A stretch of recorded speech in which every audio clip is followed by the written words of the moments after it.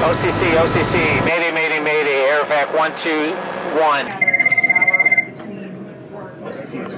I had Air Evac 121 uh, call Mayday over. They were on Bleckley Tower. Air Evac 121, OCC, go ahead. Uh, uh, OCC, we are over mountains. Uh, pot, oh, Let's verify, is the autopilot engaged? I have no idea. All right, let's look at the center console. For, push the one that says HDG for me, please. Roger.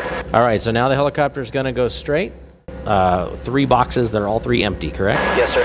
And on that, I want you to touch the bottom one that says approach.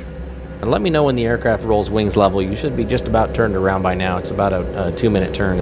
First thing you're going to do is after you've touched the ground is you're going to push that collective all the way down to the floor of the aircraft. On the uh, GPS, the big screen up on the front, what is the fix? 36 in there. Yep, no problem. You're coming right into the runway, so you're doing great. You're going to start to lose communication as we get low, or we may, so obviously just remember your procedure. Skids down means collective down, okay? Yes, sir. 200. 200 feet, great. Torque is at 36, right? 36.4. Airspeed? Uh, 71. Yeah, we're real close. Good. Well, just hold everything there, get yourself braced. You're going to be on the ground here anytime. The aircraft's going to do a run on landing. You're going to do a great job.